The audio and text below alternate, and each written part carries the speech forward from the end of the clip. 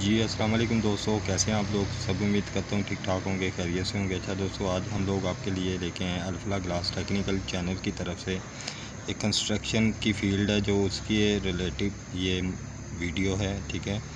और आप लोगों ने घरों में अक्सर देखा होगा, दीवारों पे, चारों दीवारों के अंदर बाहर नमी के इश्यूज़ आते हैं। और इशू क्यों आते हैं? आज हम लोग आपको टेक्निकल वजूहत बताएँगे इशू कैसे आते हैं।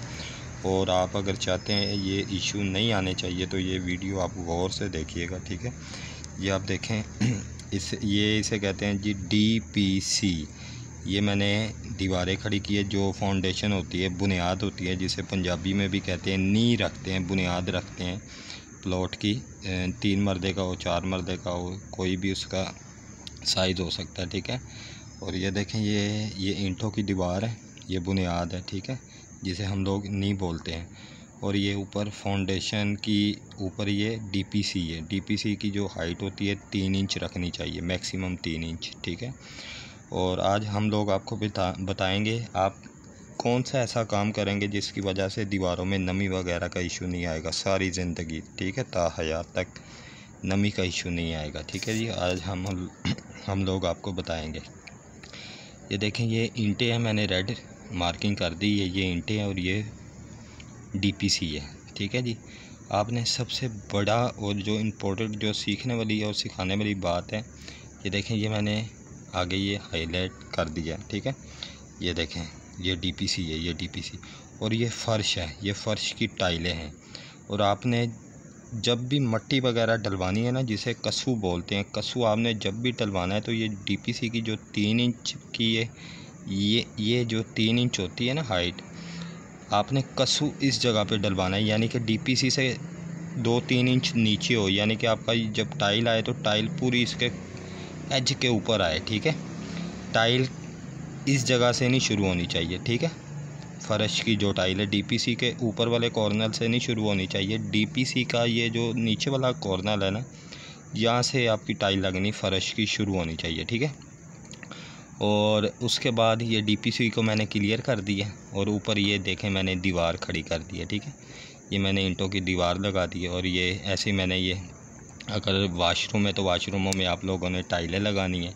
तो फिर भी आपने जो टाइल है ना टाइल को भी आपने डीपीसी के नीचे वाले कॉर्नर से नहीं शुरू करना। डीपीसी के ऊपर वाले कॉर्नर से आप लोगों ने टाइल लगानी शुरू करनी है, ठीक है? और ये जो बीच में गैप आएगा, ये स्कटिंग गैप आ जाएगा। यहाँ पे आप किसी भी चीज़ की फिलिंग अपना करवा के तो उसके ऊपर बड़ा खूबसूरत सा पेंट कर सकते हैं। उससे ये फ़ायदा होगा, नमी वगैरह नहीं आएगी और टाइल आपकी कभी भी ज़िंदगी में कभी भी खड़केगी नहीं, ठीक है?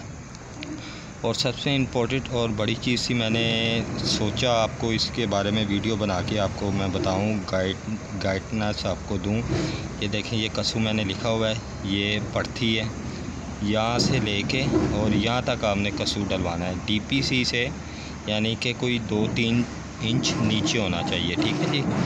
जब भी आपने कसूँ डलवाना है कसूँ को आपने इधर ऊपर तक नहीं आने देना, ठीक है? अगर ऊपर तक आएगा तो दीवारों में ऑटोमेटिक आपकी नमी आ जाएगी।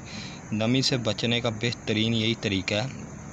डीपीसी ये आ रही है डीपीसी के नीचे, दो तीन इंच नीचे आपका कसू आएगा। कसू के ऊपर आपका सीमेंट वगैरह आएगा, सीमेंट का जाल आएगा। उसके ऊपर आपकी ये टाइल वगैरह लग जाएगी। ये आपकी फ़र्श की टाइल लग गई है। ये डीपीसी क्लियर होगी नीचे वाले कॉर्नर से। टाइल हमारी शुरू हो जाएगी और ऊपर वाले कॉर्नर से हमारी जो वॉल है, वो खड़ी हो जाएगी ईंटों की, ठीक है? अगर आपने इसके नीचे प्लास्टिक रखना चाहते हैं तो ठीक है, नहीं भी रखना चाहते तो कोई भी इशू नहीं है, आपका सारी ज़िंदगी कभी भी दीवारों में नमी नहीं आएगी। ये बहुत ज़्यादा टेक्निकल पॉइंट था। तो मैंने सोचा आपके साथ मैं शेयर करूँ। और मेरी वीडियो को आप लोग लाइक किया करें, दोस्तों के साथ शेयर किया करें। और मेरे चैनल को सब्सक्राइब करना मत भूलिएगा। और हाँ बेल का जो बटन है ऑल पे उसको पुश कीजिएगा। यानी कि मेरी जो भी आने वाली वीडियो है, उसका बासानी आप तक नोटिफिकेशन पहुँचता रहे। जजाकल्ला